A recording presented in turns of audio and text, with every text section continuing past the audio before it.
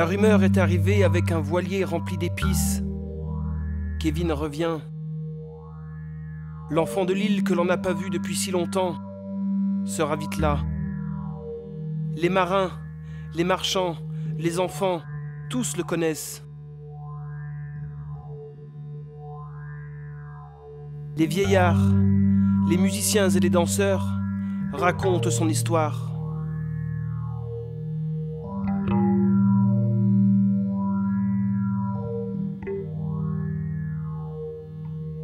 Il y a très longtemps, au tout début, quand Dieu venait tout juste de créer le monde, Kevin naquit ici. Ayant vécu tant de malheurs dans son enfance, il se jura de se venger du Créateur dès qu'il le pourrait.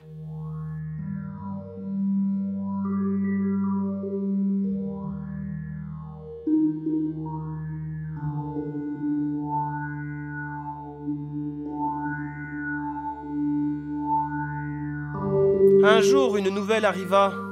Le seul être humain qui avait la capacité de communiquer avec Dieu, l'oracle, venait d'être assassiné. Kevin embarqua alors sur le premier bateau. Il voulait remercier le meurtrier. Il arriva sur place et dans un chaos général, on lui apprit que le meurtrier avait été retrouvé, arrêté, torturé et mis à mort.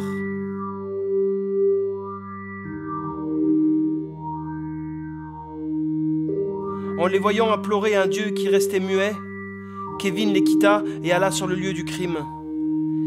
Il ne remarqua d'abord rien, mais bientôt, il aperçut une lumière au sol.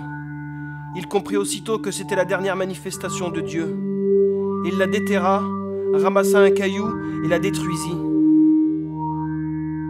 Il mit le caillou dans sa poche, dispersa les débris puis quitta les lieux, heureux d'avoir terminé le travail de l'assassin. Il était enfin vengé de toutes ses souffrances.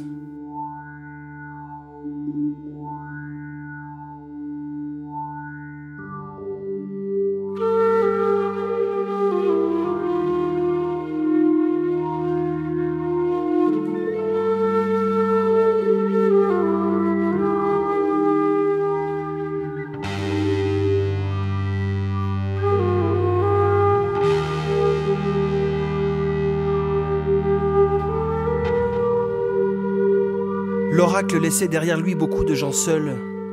Pourtant, le Créateur n'était pas encore mort.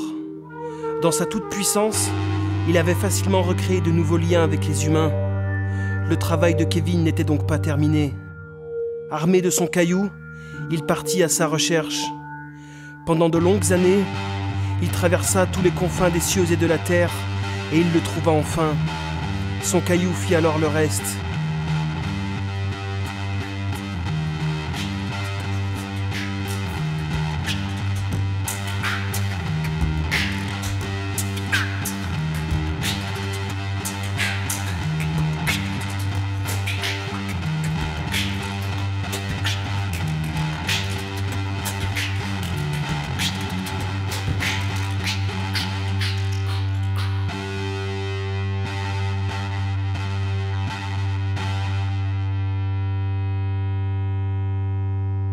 Sur l'île, on apprit rapidement les événements. Ici, un jeune homme aimait lire les aventures de Kevin sur son smartphone. Son voyage le faisait rêver. Il le racontait à quiconque il rencontrait. Le téléphone arabe apporta vite du romantisme à l'histoire.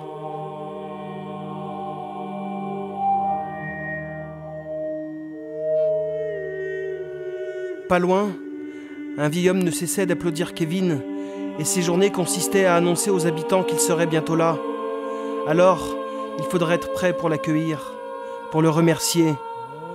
Certains l'écoutaient avec joie ou curiosité, d'autres avec crainte.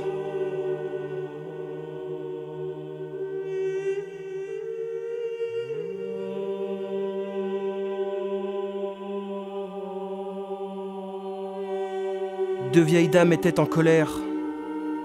Accrochées à leur tricot, elles blâmaient Kevin. Elles se demandaient comment pouvaient-elles se reconnaître dans cet acte solitaire réalisé sans concertation. On ne s'autoproclame pas leader, c'est la communauté qui décide. Ou alors elle délègue son pouvoir quand elle le souhaite, ce qui n'était manifestement pas le cas ici. C'est un coup d'État contre le groupe, se disait-elle.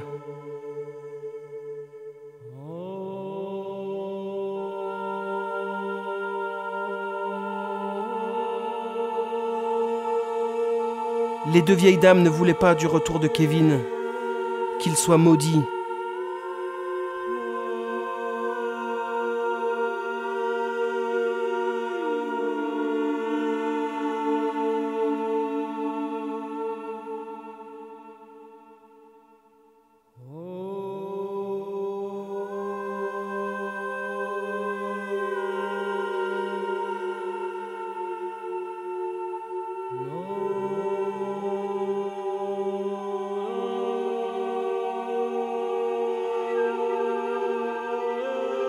Kevin ne s'était jamais posé le problème comme ça.